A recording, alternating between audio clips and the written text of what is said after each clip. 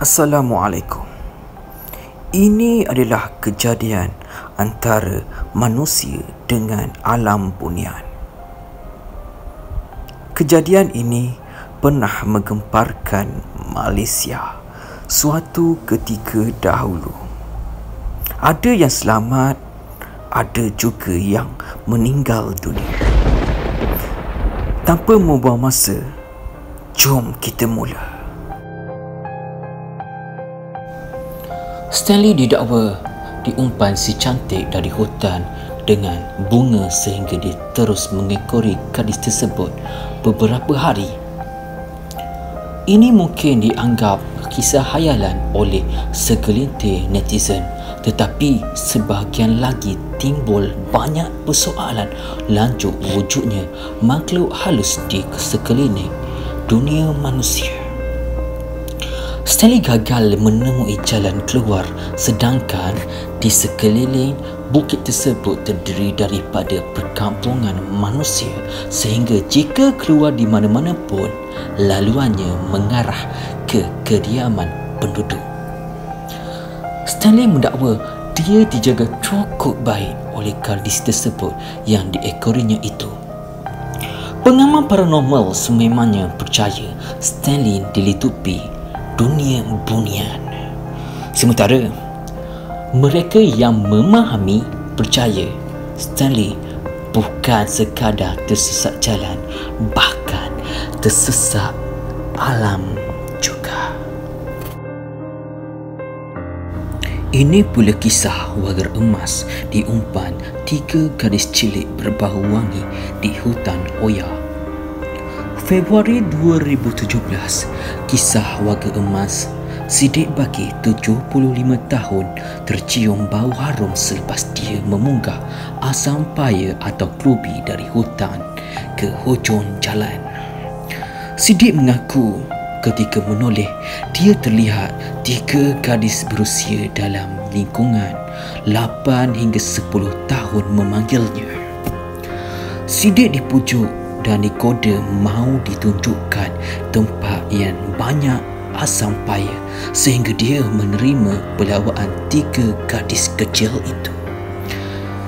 Sidik diberi makan kuih penyaram oleh gadis berkenaan dan sebelum sampai ke lokasi yang dikatakan banyak asam paya, tiba-tiba tiga gadis yang berjalan di hadapannya itu membuka pakaian. Sidik mengaku menutup matanya dan memarahi gadis tersebut sebagai kurang ajar. Merasa ada yang tidak kena, Sidik membaca Al-Fatihah lima kali sehingga ketiga-tiga gadis cilik tersebut hilang dari pandangan. Menurut Sidik, ketika itulah baru dia terdengar ada suara yang mencarinya. Dari anggota Polis Diri Malaysia PDRM, Angkatan Pertahanan Awam Malaysia APM, rela dan penduduk kampung di sebuah hutan terletak 10 km dari kediamannya. Ini kisah remaja Mama Azharul Mukris Abdul Rahman yang tersesat di puncak Tok Wan di Bukit Broga Semenyih pada Januari 2017. Mama Azharo yang mendaki Bukit Broga bersama lima rakannya dan disedari hilang pada waktu maghrib. Sekitar 700 sukarelawan mencari Azharo yang hilang hampir seminggu di Broga tetapi tidak bertemu padahal tapak kehilangannya terletak tidak jauh dari laluan berjalan kaki. Dalam rancangan multiviral, Azaro menceritakan semasa mendaki itu dia terserempak budak perempuan bertudung dalam usia lingkungan 9 tahun yang membawanya berjumpa ahli keluarganya di sebuah gua. Azaro berkata sepanjang berada di alam gaib itu dia duduk di dalam gua dan tidur di atas batu. Pada hari ketiga Azaro berada di situ dia diajak kahwin oleh kakak budak perempuan tersebut yang memakai pudang. Namun, Azhar menolak pelawaan tersebut sehinggalah sampai hari ketujuh. Azaro tetap menolak pelawaan perempuan itu menyebabkan gadis bunian itu marah.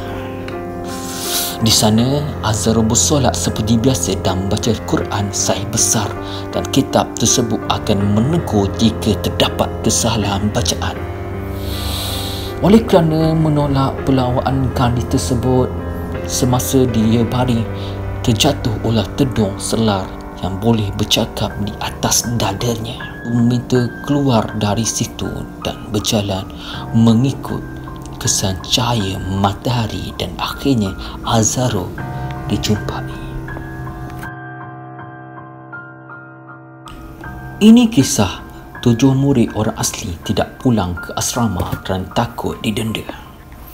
Pada 23 Ogos 2015, tujuh pelajar orang asli dari sekolah kebahasaan Tohoi, Gua Musang telah dilaporkan hilang selepas tidak pulang ke asrama pada hari tersebut.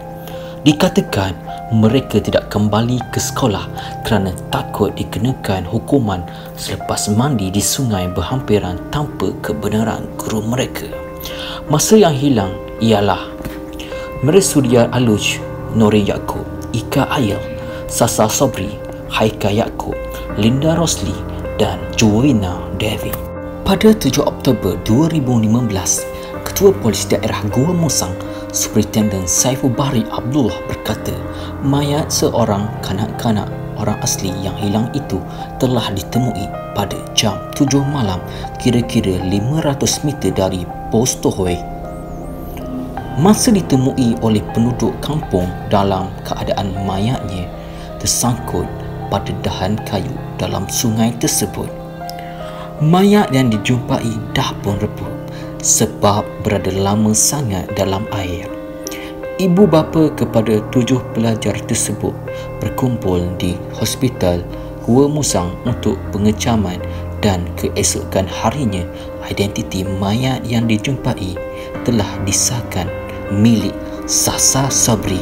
Pada 8 Oktober 2015, lagi dua mayat kanak-kanak orang asli ditemui polis sahkan ada lagi penemuan satu tengkorak dan rangka kanak-kanak. Namun identiti belum lagi dapat dikenal pasti. Masa yang ditemui pada jam 3.50 petang itu berada kira-kira 800 meter dari mayat Sasa Sabri pada 9 Oktober 2015 pula satu lagi mayat yang belum diketahui identiti ditemui dan pencarian diteruskan untuk mencari masa yang selebihnya. Akhirnya, dua antara mereka iaitu Nurin Yaakob dan Mersudiar Aluj ditemui dalam keadaan selamat tetapi tersangat lemah dan kurus. Salah seorang mangsa yang ditemui itu menceritakan sepanjang kehilangan mereka, mereka tinggal di sebuah kampung yang indah penuh dengan makanan dan buah-buahan serta mempunyai air sungai yang sangat jernih. Perkampungan yang mereka tinggal itu pun katanya ada ramai gadis-gadis cantik. Mereka dipercayai dijaga oleh Tenrok Bunian orang asli. Akib Bahir merupakan salah seorang sukarelawan yang terlibat dalam mencari kanak-kanak yang hilang selama 47 hari di dalam hutan Rizab Balah, Gua Musang. Katanya, pasukan penyelamat gagal mendengar jeritan mereka disebabkan dijaga Tengrok. Seorang Tok Batin dari Pusbihai, Alang Segan, kata berdasarkan kepercayaan orang tua sejak dulu kala Tengrok atau orang bunian dalam bahasa Melayu dikatakan suka berkawan dengan manusia. Terok ialah penghuni hutan yang dipercayai mirip manusia tetapi bersifat gaib dan tidak boleh dilihat dengan mata kasar. Jadi, itulah antara kisah yang pernah menggemparkan Malaysia. Kalau anda suka dengan video ini, anda boleh tekan like, share dan subscribe untuk anda mendapatkan update terbaru daripada Rosmang TV.